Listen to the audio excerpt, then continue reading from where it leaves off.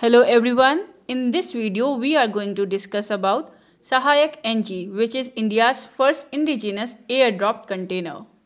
The Sahayak NG is an airdroppable container which was tested successfully by the Defense Ministry of India.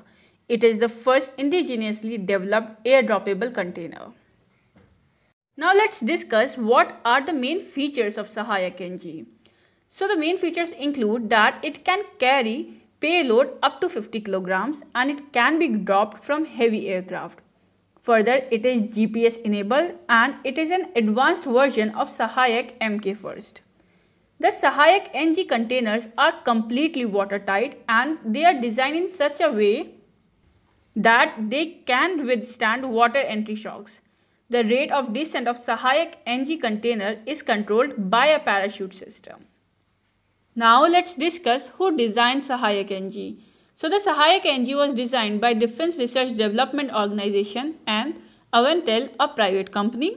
The other entities involved in the development of Sahayak NG are Naval Science and Technological Laboratory situated in Vishakhapatnam and the Aerial Delivery Research and Development Establishment situated in Agra. Now, who conducted the test trials of Sahayak NG? So, the test trials of Sahayak NG were conducted by the Indian Navy and DRDO, that is Defense Research Development Organization. So, now let's discuss how will Sahayak NG benefit Indian Navy.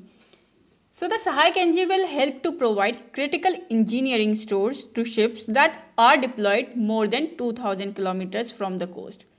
Further, it will reduce the requirement of ships to come close to the coast to collect spares and stores. Now let's discuss what are the different types of airdrop. So basically there are three major types of airdrop which are low velocity airdrop, high velocity airdrop and a free fall airdrop. Now let's discuss the following categories in details. So now what is a low velocity airdrop? See in a low velocity airdrop the parachutes are designed to slow down their airdroppable container as much as possible before it hits the ground. Coming to the high velocity airdrop, this type is uh, this type of airdrop is meant to stabilize the fall. The parachute will slow the airdroppable container but not the extent of low velocity airdrop. And this method is used in delivering military uh, ready to eat meals.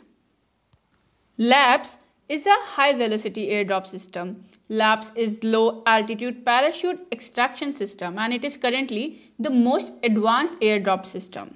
It uses touch and go type pattern where the load is ejected in extremely low altitude. And the third major type is free fall airdrop. So basically the airdrop where no parachute is used and the load is allowed to fall under gravity is called a free fall airdrop.